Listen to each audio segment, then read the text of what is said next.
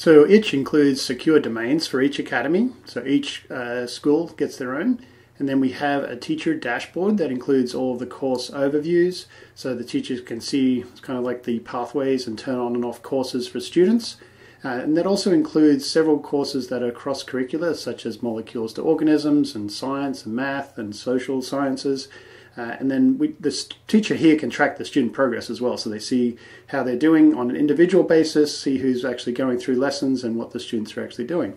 We include Scratch in our system so that um, we kind of extended that to include uh, videos that can uh, the student can follow along with. So you can see here a students actually following along with that work and created a project uh, that is one of our activities and uh, they can then go out and look at other students' work. So they can learn from each other just like in Scratch, but it's all within one classroom environment. So they get to share and collaborate in the classroom. So the teacher can use rubrics to grade the students' work. Uh, we have pre-built rubrics for most courses.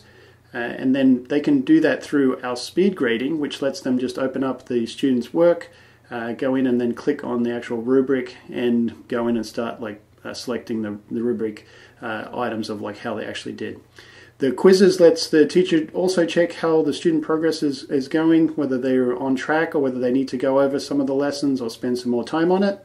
Um, and then we include a knowledge base and support system for tracking uh, teacher questions.